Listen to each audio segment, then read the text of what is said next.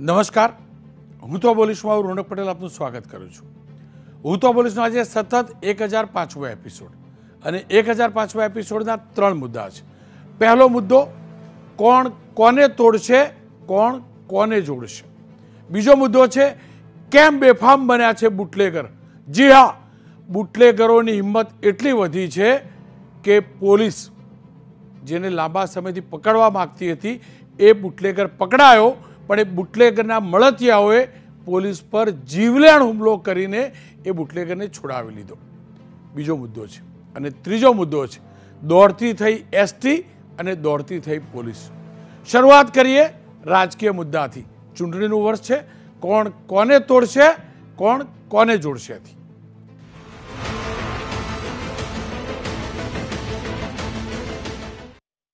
બે હજાર બાવીસમાં વિધાનસભાની ચૂંટણી યોજાઈ.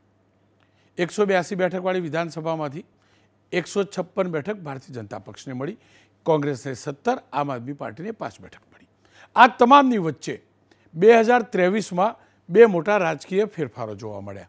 એક આમ આદમી પાર્ટીના ધારાસભ્યએ રાજીનામું આપ્યું, તો એક કોંગ્રેસના ધારાસભ્યએ. આમ આદમીના ધારાસભ્ય ભૂપતભાઈએ રાજીનામું આપ્યું, તો કોંગ્રેસના ખંભાતના ચિરાગ પટેલે રાજીનામું આપ્યું. આ દ્રશ્યો જુઓ છો. જોકે ત્યારે એવું લાગતું હતું કે હજુ પણ વધુ લોકો રાજીનામું આપશે. પરંતુ ડિસેમ્બર પહેલાં એવું રાજીનામા બીજા ન પડ્યા. બે જ રાજીનામાએ બ્રેક લાગી ગઈ. પરંતુ આ બ્રેક ટેમ્પરરી છે. આ અલ્પ વિરામ છે પૂર્ણ વિરામ નથી. આપ તમે આ વોલ જોજો.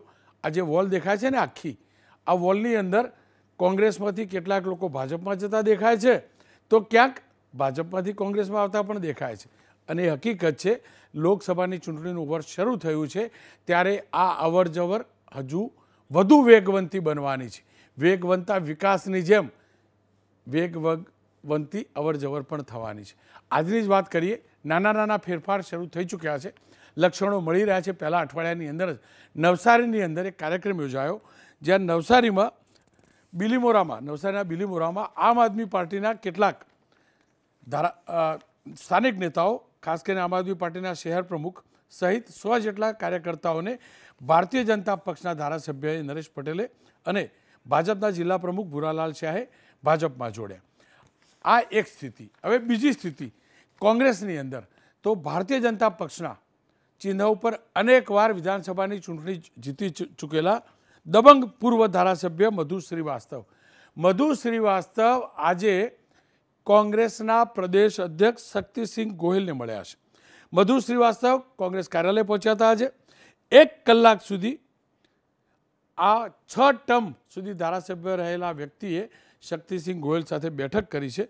બે હજાર બાવીસમાં વિધાનસભાની ચૂંટણીમાં ભાજપે તેમને ટિકિટ નથી આપી. અપક્ષ તરીકે તેઓ ઊભા રહ્યા હતા, પરંતુ તેમને અપક્ષે જ હરાવ્યા હતા. ખેર, મધુભાઈને હવે ભાજપનો મોહ બે હજાર બાવીસમાં ઓછો થઈ ગયો અને સ્વાભાવિક તે જ રાજનીતિમાં જે હોય તે ચિહ્ન વગર ક્યારે રહી ન શકે અને કદાચ એ જ કારણ હોઈ શકે કે કોંગ્રેસમાં પણ લાંબા સમય બાદ શરણાઈના સૂર વાગે અને એક વેલકમ પાર્ટી યોજાય. આ તો વાત થઈ કોંગ્રેસની. પરંતુ લોકસભાની ચૂંટણી છવ્વીસમાંથી છવ્વીસ બેઠક જીતવા અને તે પણ પાંચ લાખ કરતાં વધુ લીડનો જે સંકલ્પ જાહેર કરાયો છે તે માટે ભારતીય જનતા પક્ષમાં અનેક વાર વેલકમ પાર્ટીઓ યોજાવાની છે તે નક્કી છે. તમને જાણીને આશ્ચર્ય થશે પહેલી વાર પહેલી વાર કોઈ રાજકીય પક્ષે બકાયદા એના માટે કમિટી બનાવી છે અને એ કમિટીનું નામ છે ભાજપ જોડો અભિયાન. એટલે કે ભાજપમાં જોડવા માટેનો એક કાર્યક્રમ.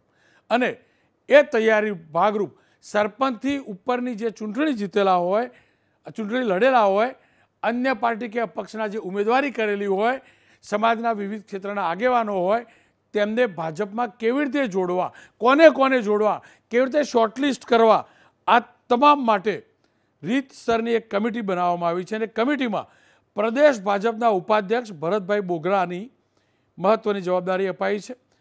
ભરતભાઈ બોગરા છે. આ કમિટીમાં નાયબ દંડક જગદીશ મકવાણા છે. શિક્ષણ રાજ્યમંત્રી પ્રફુલભાઈ પાનસેરિયા છે. વડોદરા જિલ્લાના પ્રભારી રાજેશભાઈ પાઠક છે અને ભાજપ યુવા મોરચાના પૂર્વ પ્રદેશ ઉપપ્રમુખ હિમાંશુભાઈ પટેલનો સમાવેશ કરાયો છે. આ કમિટી અન્ય પક્ષના કયા નારાજ નેતાઓ છે, તેમને પક્ષમાં સામેલ કરવા અંગેના અભિપ્રાય આપશે. એનું આખું એક લિસ્ટ બનાવશે. એટલું જ નહીં, પ્રદેશ, જિલ્લા, મહાનગર સ્તરે પણ સરપંચની જે ચૂંટણી લડેલા હોય, એ બધાની પણ એક યાદી તૈયાર કરવાની ને એ માટેની પણ પાછી એક બીજી કમિટી કરવામાં આવી છે.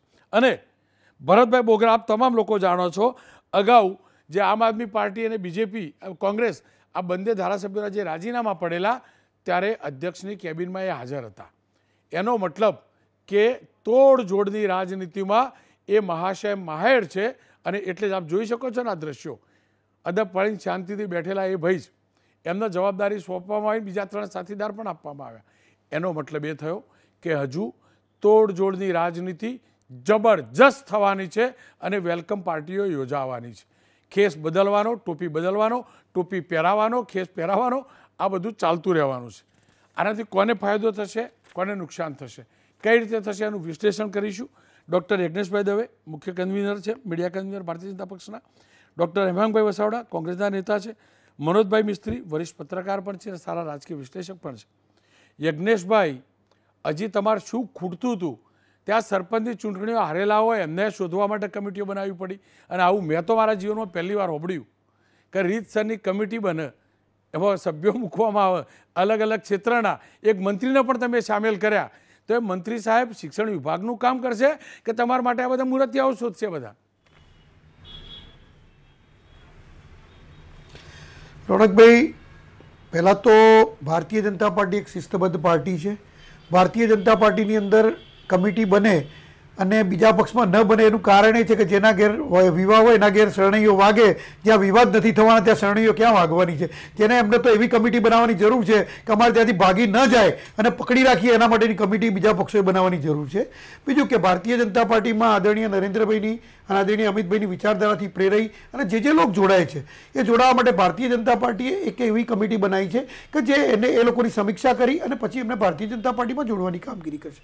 બીજું કે ભારતીય જનતા પાર્ટીની અંદર માત્ર આવનાર નહીં, પરંતુ એવા જે સમાજના, એવા વર્ગના લોકો છે કે જે લોકો સમાજની અંદર જેમનું સ્થાન સારું છે, સમાજમાં જે લોકો પ્રતિષ્ઠિત છે, ડૉક્ટર હોય, આજે વકીલ હોય કે બીજા અન્ય ક્ષેત્રોની અંદર પોતે આગળ વધેલા હોય, એવા વ્યક્તિઓને પણ ભારતીય જનતા પાર્ટીની અંદર જોડવા માટેની આજે ભારતીય જનતા પાર્ટીમાં આજે પક્ષમાં કાર્યકરોનું જોડવાનું અભિયાન ચાલુ જ હોય છે અને ભારતીય જનતા પાર્ટી દર વખતે આજે જોડવાનું અભિયાન શરૂ કરતી હોય છે ને, એમાં કોઈ આ પ્રથમ વખત બનાવ નથી. પરંતુ આ કમિટી પણ દર વખતે બનતી હોય છે. આ વખતે આ કમિટીની જાહેરાત થઈ એટલે તમ- ત્યાં આ જાણ થઈ છે. દર દર વખતે ભારતીય જનતા પાર્ટીમાં કાર્યકરોને જોડવાનું અભિયાન ચાલુ હોય છે અને એના જ કારણે આજે ભારતીય જનતા પાર્ટી વિશ્વનો સૌથી મોટો પક્ષ બન્યો છે અને સૌથી વધારે કાર્યકરો ભારતીય જનતા પાર્ટીમાં જોડાયા છે. અને ફરીથી પણ એક હું તમને કહું છું કે જેના ત્યાંથી ભાગી જવાના હોય ને એણે એના માટે રોકવાની કમિટી બનાવવાની જરૂર છે. બાકી ભારતીય જનતા પાર્ટીમાં કાર્યકરો જોડાય છે અને આવકારવા માટે ભારતીય જનતા પાર્ટી કાયમ આ પ્રમાણેની કમિટી બનાવતી હોય છે અને એનું અભિયાન પણ કરતી હોય છે. યજ્ઞેશભાઈ આ કમિટી સારા સારા લોકોને શોધશે એવું કંઈ કરવાના? શોર્ટલિસ્ટ કરવા માટે? કે સારા વ્યક્તિઓ હોય પ્રતિષ્ઠિત વ્યક્તિઓ હોય ક્રિમિનલ ઇતિહાસના હોય એ બધું ચેક કરવા માટે કમિટી છે કે કેવી રીતે તોડવા એના માટેની કમિટી છે? રોનકભાઈ કેવી રીતે તોડવા માટેની એવી કોઈ કમિટી જ ના હોય? કોણ કેવી રીતે તૂટે છે ને એમને એમને એમને અંદર કમિટી બનાવવાની જરૂર છે કે અમે કેમ ન તૂટીએ? બાકી અમારે એવી કોઈ કમિટી બનાવવાની જરૂર નથી. ભારતીય જનતા પાર્ટીમાં આવકારવા માટે ભારતીય જનતા પાર્ટીના કાર્યકર્તાઓ આજે દર વર્ષે મેં તમને કીધું દર વર્ષે કાર્યકર્તા જોડો અભિયાન થતું હોય છે અને એ અભિયાનના ભાગરૂપે આ વર્ષે પણ એ પ્રમાણેની કમિટી બની છે. અને એમાં કંઈ ભારતીય જનતા પાર્ટીમાં કંઈ નવું નથી આ સતત ચાલતી પ્રક્રિયા છે. બીજું કે ભારતીય જનતા પાર્ટીની અંદર જે લોકોને આવકારવાના હોય એ ભારતીય જનતા પાર્ટીની સ્ક્રુટિની કરતી હોય છે. મેં પહેલા પણ કહ્યું કે ભારતીય જનતા પાર્ટી શિસ્તબદ્ધ પાર્ટી હોય ધ્યાન શું રાખો? ભારતીય જ્યારે કાર્યકર જોડાય છે ત્યારે આગવી સ્ક્રુટિનીમાં ધ્યાન શું રાખવાના? વિકાસની વિચારધારાથી આદરણીય નરેન્દ્રભાઈની વિચારધારાથી જોડાતો તમે સ્કૂટીની કરવા ધ્યાન શું રાખવાના કે ક્રિમિનલ ઇતિહાસ છે કે નહીં ભણેલો છે કે નહીં આવું બધું જોવાના શું જોવાના ભારતીય જનતા પાર્ટીની વિચારધારા અને દેશના વિકાસની અંદર જે વ્યક્તિ જોડાતો હોય છે, એ ભારતીય જનતા પાર્ટીની અંદર જ્યારે જોડાતા પહેલા ત્યારે એ વિચાર કરતો હોય છે કે હું દેશના વિકાસની અંદર અને સમાજ જીવનની અંદર હું પોતે એક આગળ કદમ ભરવા જઈ રહ્યો છું, ત્યારે ભારતીય જનતા પાર્ટીના કાર્યકરો એને આવકારતા હોય છે. ખેર, હું તો એટલે વારંવાર પૂછતો હતો કે ક્રિમિનલ જોડે કોઈ લેવા દેવાનો એવો આરોપ લાગેલા જોડે તો. કારણ કે રાજદ્રોહનો કેસ લાગેલો હોય, એને પણ તમે જોડવા, જોડ્યા હોય ને ધારાસભ્ય બનાવતા હોય. બરાબર? એટલે બીજું તો બહુ જાજુ અને કેટલું ભણેલા એ ભાઈ આપણે જાણીએ છીએ. એટલે મારે તો પરિમાણ જાણવા હતા. કદાચ કોઈ મિત્રને જોડાવવું હોય. વસાવડા સાહેબ કોઈનો રેફરન્સ આપણને કોઈનું જોડાવવું હોય. તો એને હા કે ના કહેવાય ને એટલા માટે હું પૂછતો હતો કે એવું કોઈ ખરું કે ક્રિમિનલ રેકોર્ડ જ નહીં જોડવાનો? રોનકભાઈ પહેલાં પણ મેં કીધું કે ક્રિમિનલ રેકોર્ડ હોય કે કંઈ પણ હોય તો એની તપાસ થતી હોય છે. બીજું કે જ્યારે એના ક્રિમિનલ કેસો પૂરા થઈ ગયેલા હોય અથવા તો એ કોઈ પણની ઉપર આરોપ હોય આરોપ જ્યારે પુરવાર ન થયેલો હોય ત્યાં સુધી એ આરોપી ગણાય છે. એ એ- અરે તોમતદાર ગણાય છે એ આરોપી નથી ગણાતું. પરંતુ એના આરોપ પુરવાર ક્યારે થતા હોય? જ્યારે કોર્ટના ડિસિઝન આવતા હોય છે. અને એ જેલમાં જતો કે એના તો આજે જેલની સજાની જોગવાઈ છે કે બે વર્ષની સજા જ્યાં થયેલી હોય એવા લોકોને ક્યાં કોઈ પક્ષની અંદર હોય તો પણ એને હોદ્દા પરથી ઉતારી દેવામાં આવતા હોય છે. અને અત્યારે હાલ પણ તમે જો આદરણીય રાહુલ ગાંધીનો બનાવ છે કે એમને જ્યારે બે વર્ષની સજા થઈ તો એમને પક્ષના હોદ્દા પર અરે જે હોદ્દો એમનો હતો સંસદ સભ્યનો ત્યાંથી એમને ઉતારી દેવામાં પણ સજા પછી ફરીથી એમને જે એમની પર સજા પર રોક લાગી. તો ફરીથી પાછા સંસદમાં લેવામાં એ એ સરકારનો નિયમ છે ચૂંટણી પંચનો નિયમ છે અને બંધારણ મુજબ ભારતીય જનતા પાર્ટી ચાલતી હોય છે. અને રાજદ્રોહમાં તો બહુ લાંબી સજા થાય એટલે ખબર નથી એ વખત શું થશે જો સજા થાય તો. અને આરોપી સાબિત થાય. કારણ કે તમારી તમારા જ પક્ષની સરકારે રાજદ્રોહનો ગુનો લગાવ્યો તમારા જ પક્ષે રાત્રિનો ગુનો લગાવ્યો હતો ને? એટલે હું કહું છું. સાચો લગાવ્યો હશે તો તો સાબિત થઈ જ જશે. પક્ષ કોઈ અને પક્ષની સરકારે રોનકભાઈ રોનકભાઈ કોઈ પક્ષ ગુનો નથી લગાડતું હતું. સરકાર ગુનો લગાડે છે અને સરકાર સરકાર સરકાર જે કરી એ કોઈ પણ પક્ષની નથી હોતી. સરકાર જ્યારે બને ત્યારે પ્રજાની હોય છે. ભારતીય જનતા પાર્ટીની સરકાર એ પ્રજાના વિકાસ માટેની હોય છે અને પ્રજાની સરકાર હોય છે. અને એ પ્રજાની સરકારે જ્યારે કોઈ પણ ગુના લગાડેલા હોય તો એ ગુનો જ્યારે સાબિત થાય તો એને ગુનેગારને એ પ્રમાણે સજા થતી હોય અને એ પ્રમાણે ડિસિઝન પણ લેવાતા હોય છે. ખેર એમાં એમાં બહુ મુસ્કરાતા હતા. અને કદાચ એ દિવસની રાહ પણ જોશો કે ચુકાદો આવે. મારો ઈશારો સમજી શકતા હશો. પણ આ ભાઈ જે રીતે કહી રહ્યા હતા, તમારા ત્યાં કોઈ કમિટી બની કે નહીં? આવી તો રોકવાવાળી. રોનકભાઈ, મારી વાત શરૂ કરું. એ પહેલા મારે તમને ખૂબ ખૂબ અભિનંદન આપવાના છે. ખૂબ અભિનંદન. આની પહેલાના નંબર તો મને યાદ નથી રહ્યો. પણ એપિસોડમાં જ્યારે બે ધારાસભ્યો આપના અને કોંગ્રેસના બીજેપીમાં પ્રવેશ થયો, ત્યારે હું તો બોલીસમાં ભરતભાઈ બોઘરા પણ હાજર હતા અને આપે બહુ સ્પેસિફિક પૂછ્યું હતું એમને કે આપની આગેવાનીમાં આવું કંઈ કરવાનું છે? આ વાત મને આજે પહેલાં મારી વાત શરૂ કરું એ પહેલાં મને ખૂબ યાદ આવે છે. મને એક બીજી વાતમાં જરા બહુ કન્ફ્યુઝન થઈ ગયું. મારા મિત્ર યજ્ઞેશભાઈ દવે એમ કીધું કે સરકાર કોઈની નથી હોતી, સરકાર પ્રજાની હોય છે. હું તો નરેન્દ્ર મોદી સરકાર, નરેન્દ્ર મોદી સરકાર સાત, આઠ વર્ષથી સાંભળતો આવ્યો છું. એટલે મને હવે કન્ફ્યુઝન થયું કે આ સરકાર મોદી સાહેબની નથી. આ વાત છે. હવે આપના પ્રશ્ન ઉપર આવીએ આપણે કે રાજકારણમાં બે રીતના લોકો આવે છે. એક ખરેખર સારા માણસો છે, જેને નીતિ રીતિમાં વિશ્વાસ છે, વિચારધારા છે, એવો એક મોટો વર્ગ છે. બીજો વર્ગ તકનો લાભ લેવા વાળો અને સમય પ્રમાણે સડ ફેરવવા વાળો મોટો વર્ગ એ પણ એક વર્ગ છે. અત્યારે જે તોડજોડની રાજનીતિ ઉપર ભારતીય જનતા પાર્ટી ઉતરી છે, અમે તો ઘણા વખતથી કહેતા હતા ને એ અમને એમ કહેતા હતા કે તમે સાચવી નથી શકતા, તમે સાચવી નથી શકતા. આજે દૂધનું દૂધ ને પાણીનું પાણી થઈ ગયું છે. સચવાતા એટલે નથી કે તમે તોડવા નીકળ્યા છો.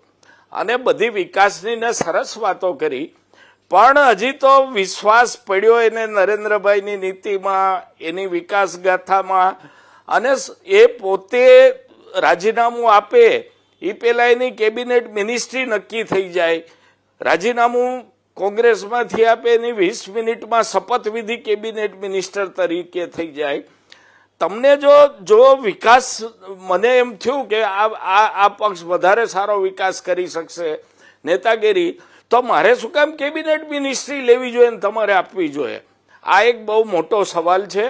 ક્રિમિનલની વાત કરું, હું મારી વાત નહીં, પણ કાનાભાઈ અમૃતિયા જે ભારતીય જનતા પાર્ટીના મોરબીના ધારાસભ્ય છે એનું એક સ્ટેટમેન્ટ એવું હતું કે હવે ગુંડા ક્યાં બહાર જ રહ્યા બધા બીજેપીમાં આવી ગયા છે. આ એનું સ્ટેટમેન્ટ છે. હું ખાલી જનતાને રિપીટ કરીને ઇન્વર્ટેડ કોમામાં કહું છું. અને મને તો દયા આજે પાટીલ સાહેબની આવે છે. ગાજી ગાજીને એમ કહેતા હતા કે કોંગ્રેસમાંથી કોઈને પણ લેવામાં નહીં આવે. હવે બધા કોંગ્રેસવાળાને સ્વાગત લાલજા જાજમ પાથરીને સ્વાગત કરીને તેડવા ગયા છે. લોકોએ એ વિચારવું પડે કે બોલીને ફરી જનારો રોગ ખાલી બે જણનો જ છે કે એકો એકનો છે? બોલીને ફરી જવું એ માત્ર બે જ જણને રોગ છે કે બધાને છે? એ પણ પ્રજાએ વિચારવું પડશે. કારણ કે પાટીલ સાહેબનું સ્ટેટમેન્ટ હતું કે એક પણ કોંગ્રેસીને પ્રવેશ કરાવવામાં નહીં આવે. આ બધી જે ભરતભાઈ બોગરા જેમ કામ આગળ વધારશે, એમ ભારતીય જનતા પાર્ટીના જૂના કાર્યકરોને સતત એવું લાગશે અને મેસેજ જશે કે તમે ખુરશી ગોઠવવામાં અને જાજમ પાથરવામાં જ છો. બાકી સત્તા જેવી ભારતીય જનતા પાર્ટીને આવે એટલે મિનિસ્ટર થવા માટે, ધારાસભ્ય થવા માટે બીજા પક્ષમાંથી અંદર આવે એટલે એ થઈ જાય છે. તમારે તો ભૂંગિયા જ ઉપાડવાના છે. આ વાત પણ જોરશોરથી ઉપડશે. ચોક્કસપણે ભારતીય જનતા પાર્ટી જે આટલા વખતથી બચાવ કરી રહી હતી, એમની નીતિનો, એનો આજે પર્દાફાશ કરીને પોતે જ સ્વીકાર્યું છે કે તોડફોડની રાજનીતિ એ અમારી રાજનીતિ છે. અને આપનો પ્રશ્ન બહુ વ્યાજબી છે કે શેને માટે આ થાય છે. આ વાત બહુ અગત્યની છે, તમને રેકોર્ડ બહુમતી મળે છે.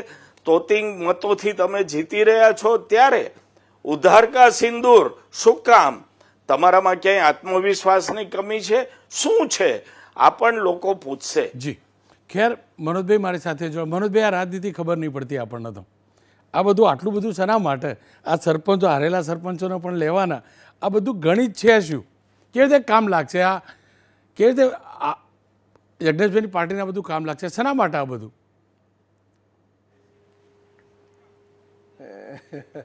અરે રોનકભાઈ, આપણે યજ્ઞેશભાઈની વાત સાંભળી. તો યજ્ઞેશભાઈનો જે દાવો હતો એ તમને એવું લાગે કે મેટ્રોપોલિયન એક કમિટી બનાવી છે, કુવારા ઉમેદવારો આવે, એને બાયોડેટા તપાસવો એનું એજ્યુકેશન તપાસવું ને પછી એની સાથે સગાઈ કરવી. ઠીક છે, ભાજપના વક્તા છે અને ભાજપને માટે બોલે એ સમજી શકાય. હેમાંગભાઈ જરા મેચ્યોર્ડ વાત કરી ગયા કે આપણને લાગે કે વાતમાં કંઈક દમ છે. હકીકત એ છે કે ભારતીય જનતા પાર્ટીના ટોચના જે નેતાઓ છે, એમને પણ ખબર નથી કે આપણા વડાપ્રધાનના માઇન્ડમાં શું ચાલી રહ્યું છે. વડાપ્રધાન નરેન્દ્રભાઈએ ક્યારેય પણ કોઈ પણ પાર્ટીમાંથી આવતા માણસનો ઇનકાર કર્યો નથી. ક્યારેય એમ નથી કીધું કે આ માણસ મને ગમતો નથી, આ માણસ ક્રિમિનલ છે, આ માણસ મર્ડરર છે આ મર્ડર આ માણસે ભલા ફલફણા, ફલાણા ફલાણા ગુનાઓ કર્યા છે. એમનું એક જ ક્રાઇટેરિયા છે કે માણસ જીતે હોવો જોઈએ, માણસ શક્તિશાળી હોવો જોઈએ. એનું સૌથી પહેલું ઉદાહરણ આપણે ભાવનગરના ધારાસભ્યથી લઈ શકીએ. એટલે પાર્ટીએ ખરેખર તો જનતા ભારતીય જનતા પાર્ટીના લોકોએ આવી કોઈ આવી વાતો કરવાની જરૂર જ નથી કે અમે આને નહીં લઈએ, આને નહીં લઈએ આમને નહીં લઈશું, આપ આ કોંગ્રેસવાળાને નહીં, આપ બધા જ અલ્ટિમેટ ભારતના નાગરિકો છે. અને કોઈ પણ પોલિટિકલ પાર્ટીનો લીડર હંમેશા એવું જ ઈચ્છતો હોય છે કે મારી પાર્ટીની મેક્સિમમ બેઠકો કઈ રીતે આવે. બે હજાર બાવીસની ગુજરાત વિધાનસભાની ચૂંટણીઓમાં આપણે જોયું છે કે નરેન્દ્રભાઈ અને અમિતભાઈ અને સી આર પાટીલ જે રીતે માથે કફન બાંધીને બેઠા હતા અને જે રીતે મેદાનમાં ઉતર્યા હતા, એ જનૂન બતાવતું હતું કે ભારતીય જનતા પાર્ટીને ઓછી ક્ષમતાની સરકારો ગમતી નથી. બોર્ડર પર સરકાર બને એવી સરકારો સાથે એને નિસ્બત નથી. એ ફૂલ ફ્લેજ સંપૂર્ણ બહુમતવાળી એમને સરકાર જોઈએ છે. અને જે માણસ, જે પોલિટિકલ પાર્ટીનો લીડર જ્યાં સુધી આ વિચારધારામાં નહીં આવે કે આ ભાજપનો છે, આ કોંગ્રેસનો છે, આ આપ જનતા પાર્ટીનો છે, કે આ ફલાણી પાર્ટીનો છે, એ આપણને સ્વીકાર્ય નથી, ત્યાં સુધી કોઈ પણ પાર્ટી એના લક્ષ્ય સુધી પહોંચી શકે નહીં. આખા હિન્દુસ્તાનમાં એક જ કોંગ્રેસ પાર્ટી હતી. અને આખા ભારતમાં જે પેટા પાર્ટીઓ અત્યારે સર્જન થયું છે, એ કોંગ્રેસના ટુકડાઓ છે. કોંગ્રેસની વિચારધારાઓથી અલગ પડેલા લોકો છે અને એમની દશા આપણે જોઈએ છીએ રિજિયોનલ પાર્ટીઓ બની ગઈ છે. સૌથી મોટું ઉદાહરણ જનતા પાર્ટી, એ પણ અલ્ટિમેટ ભાજપમાં વિલીનીકરણ થઈ ગયું. એટલે આ જે કંઈ ડાઈ ડમરી વાતો કરવામાં આવે છે, એ વાતો ખોટી છે. વાતો પોલિટિકલ રીતે યોગ્ય નથી. બીજી રીતે આપણે ચારિત્રની વાતો કરીએ, આ માણસ નાલાયક છે, આ માણસ વ્યભિચારી છે, આ માણસ એટ્રોસિટીમાં એ બધું બરાબર છે. પણ જ્યારે તમારે જીત હાંસલ કરવી હોય, રાજકારણની ચોપાટમાં તમારે એ જોવું પડે કે આપણી જીત ક્યાં છે આપણું લક્ષ્ય ક્યાં છે. અને એ લક્ષ્ય સિદ્ધ કરવા માટે ત્યારે તમારે છૂત, અછૂત એસટી ઓબીસી આ કંઈ પણ ગણવાની જરૂર નથી. અને તો જ સક્સેસફુલી એ લક્ષ્ય પ્રાપ્ત કરી શકે. આ નરેન્દ્રભાઈનો ઓપન એજન્ડા છે. બે હજાર સાતમાં પણ તમે જોયું હશે, આખું ગુજરાત એનું સાક્ષી છે કે એક તરફ નરેન્દ્રભાઈ હતા, એક તરફ આખો પાટીદાર સમાજ હતો. અને તેમ છતાં પણ નરેન્દ્રભાઈની સરકાર બની હતી. કારણ કેમ કે છૂત અછૂતમાં માનતા નથી. એ આ પાર્ટીનો કે પહેલી પાર્ટીનો છે, એમાં માનતા નથી. એમનું લક્ષ્ય માત્ર ને માત્ર જીત છે. અને એ પણ જાણે છે કે જે દિવસે ભારતીય જનતા પાર્ટી શિથિલ થશે ને, ત્યારે આમાંના કેટલાય મણકાઓ, પેલો રેશમનો દોરો તૂટે ને કે વિકેરાઈ જાય ને, આમાંથી ઘણા મણકાઓ ચાલ્યા જશે. આપણે એક એપિસોડમાં એવી પણ ચર્ચા કરી હતી કે ભાઈ, આ હવે ભાજપમાં કોણ જોડાશે, ક્યાં જશે, કેટલા આવશે? આફ્ટર આ પાંચ રાજ્યોની ચૂંટણી પહેલાં. અને ત્યારે જે પરિણામ જોયું, ત્યાર પછીનું જે પરિણામ જોયું કોણ ભાજપમાંથી ભાગે છે? મધુસૂદન શ્રીવાસ્તવ મૂછ પર લીંબુ મૂકીને કહેતા હતા કે પાર્ટીએ તો મને ટિકિટ આપવી જ પડશે. કોઈના બાપની તાકાત નથી મને રોકી શકે. અને આજે એ જ મધુસૂદન કોંગ્રેસની કાર્યાલયમાં જઈને બેઠા છે. એટલે રાજકીય ઇતિહાસ અને વ્યક્તિગત ઇતિહાસ રાજકીય ચારિત્ર અને વ્યક્તિગત ચારિત્ર એને તમે સાથે મેચ નહીં કરી શકો. આ તો ભારતીય જનતા પાર્ટીએ કમિટી બનાવી દીધી. ચાલો બનાવી. અને કમિટી નહીં બનાવી હોત તો પાર્ટીમાં બીજા લોકો આવવાના નહીં હતા. આ કમિટી બનાવીને એમણે બલકે જાહેરાત કરી છે કે અમે કોઈને પણ સ્વીકારીએ છીએ. આપણે કોઈ હોટલમાં ચા પીવા જોઈએ તો ત્યાં પાટિયું મારેલું હોય કે અહીંયા નાત જાતના ભેદભાવ વર્ગ દરેકને પ્રવેશ છે. એ જ રીતે ભારતીય જનતા પાર્ટી એ કોઈ એકની પાર્ટી નથી. આ પાર્ટી સમગ્ર દેશના લોકોની પાર્ટી છે જે ભાજપની વિચારધારામાં વિશ્વાસ ધરાવે છે જે સત્તામાં વિશ્વાસ ધરાવે છે જેમને સત્તામાં રહેવામાં રસ છે. જી. જો ભારતીય જનતા પાર્ટી આજે જે પગલું ભર્યું છે એ પગલું કદાચ પહેલા ભર્યું હોત જી. તો આજે ગુજરાતમાં આપનો ઉદય થયો નહીં હોત. આપના ઉદય પાછળના ઘણા બધા પરિણામો પરિમાણો છે. તે સુરત ગુજરાતના લોકો બહુ સારી રીતે જાણે છે. સુરતમાંથી સત્યાવીસ કોર્પોરેટરો આપના ચૂંટાયા હતા. કારણ કે આપણને એના પ્રત્યે સુખ હતી. એ સુખનું જ્યારે ભાન થતું હોય એ સુખ જ્યારે સમજાઈ જતી હોય મને એમ લાગતું હોય કે રોનકભાઈ મારી બાજુમાં બેસે એ મને ગમતું નથી. પણ જે દિવસે મને એવું લાગે કે રોનકભાઈ મારી બાજુમાં બેસે તો મને વાંધો નથી. ત્યાંથી મારો વિજયનું પહેલું પગથિયું શરૂ થાય છે. બે દિવસ પહેલાં આપણે મળ્યા. સીએમ કોન્ફરન્સમાં કેટલી બધી વાતો થઈ. ત્યાં આપણે જોયું ભૂપેન્દ્રભાઈએ હર્ષને કેટલી હસતા હસતા બધા સાથે વાતો કરી. એ ભારતીય જનતા પાર્ટીનું બદલાયેલું કેરેક્ટર છે. આ કેરેક્ટર જ્યારે પણ બદલવાની જરૂર હતી ત્યારે બદલ્યું. અને બદલાયું છે તો એમાં કંઈ ખાનગી વાત નથી. જી. લોકો ઘોડે ચડીને ભારતીય જનતા પાર્ટીમાં જોડાવા જાય છે. સમાજમાં અને રાજકારણમાં બે પ્રકારના લોકો હોય છે. એક વિચારધારાના લોકો હોય છે.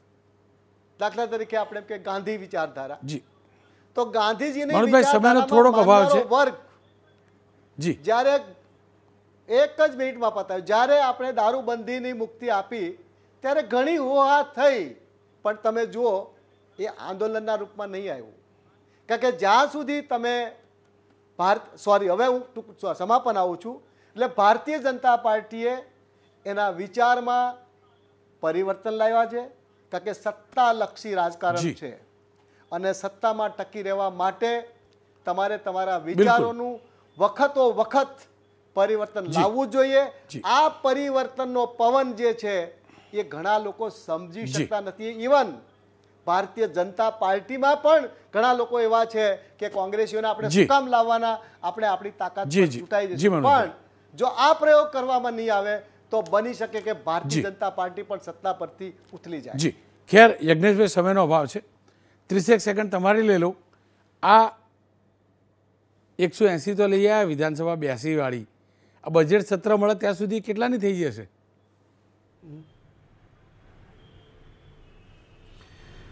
જો રોનકભાઈ એ ભારતીય જનતા પાર્ટીને એકસો ને છપ્પન બેઠકો આદરણીય નરેન્દ્રભાઈના નેતૃત્વમાં ગુજરાતની અંદર સી આર પાટીલ સાહેબના પ્રયત્નોથી જે પ્રમાણે મળી.